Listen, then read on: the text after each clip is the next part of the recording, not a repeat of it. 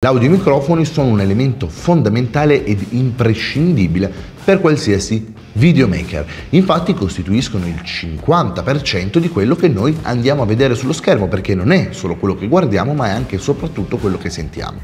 Andremo a dividere questa sezione in tanti piccoli capitoletti che racconteranno mano a mano tutte le varie parti che compongono il grande mondo dell'audio. Quindi preparatevi ed iniziamo. Come facilmente intuibile, questo è solo un estratto di un videocorso molto più ampio che abbiamo pubblicato eh, sulle nostre piattaforme. Quindi se vedete che vi manca qualche nozione, andate a vedervelo perché sicuramente è molto più ampio e molto più interessante. Torniamo alla spiegazione.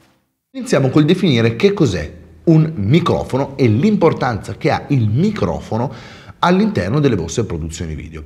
Il microfono è quella parte che permette di catturare il suono che noi abbiamo in scena, quindi la voce dei nostri attori, i rumori ambientali e tanto altro.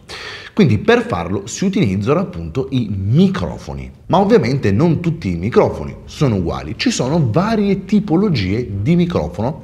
Quindi i microfoni a livello proprio costruttivo si dividono in più categorie. Abbiamo i microfoni dinamici, quindi un microfono dinamico è un trasduttore elettroacustico progettato per convertire le onde sonore acustiche nella maniera più fedele possibile quindi rispettare quello che è il suono che riceve dall'esterno, quindi evitare eh, assolutamente tutte quelle serie di vibrazioni meccaniche che potrebbero in qualche modo alterare quello che è il suono.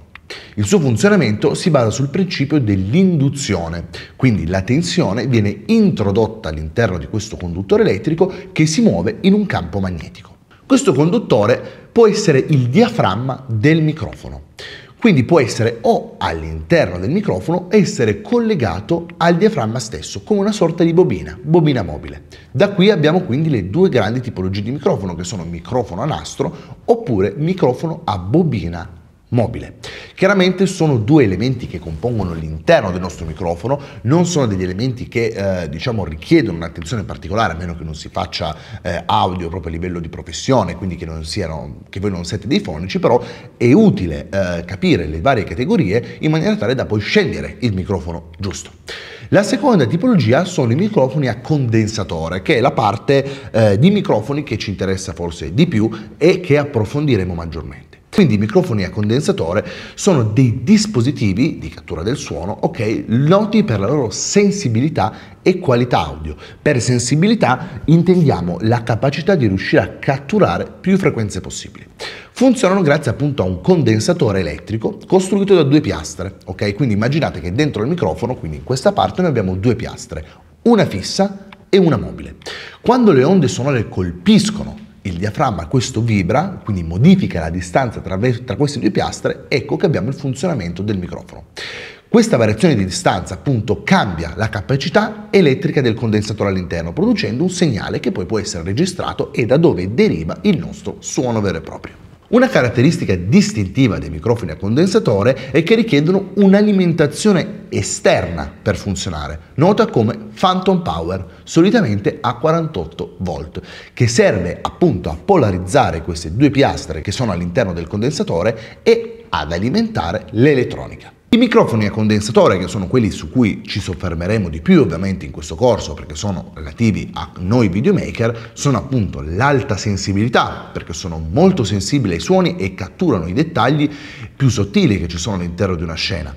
Mentre invece altri tipi di microfono queste, questi dettagli non li prenderebbero, come per esempio i microfoni gelato per i concerti. ok?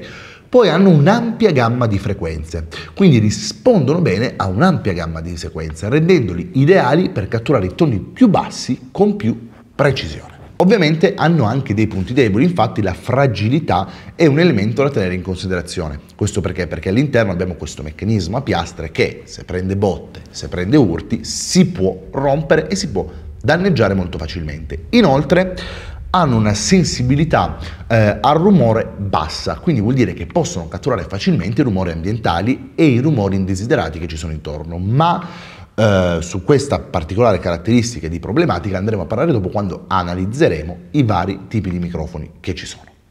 Ultima categoria sulla quale non ci soffermeremo sono i microfoni a nastro. I microfoni a nastro sono dispositivi di cattura del suono che appunto sono capaci di riprodurre un suono caldo e un suono molto naturale, quindi esattamente come è la realtà, cosa che invece gli altri microfoni che abbiamo detto prima non fanno, quindi vanno leggermente a eh, concentrarsi su alcune frequenze ben specifiche.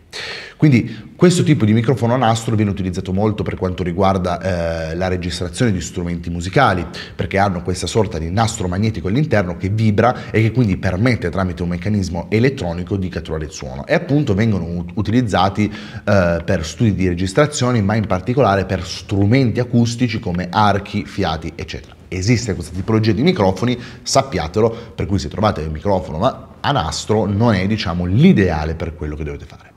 Ragazzi il video finisce qui, vi ricordo che questo è un estratto di un videocorso molto più ampio che abbiamo pubblicato sull'audio dove trattiamo tantissimi argomenti sulla presa diretta su come essere un vero fonico per i vostri video su YouTube, quindi se vi è mancata qualche informazione oppure ritenete di voler approfondire ancora di più alcuni argomenti, qui sotto trovate il link per trovare il videocorso completo.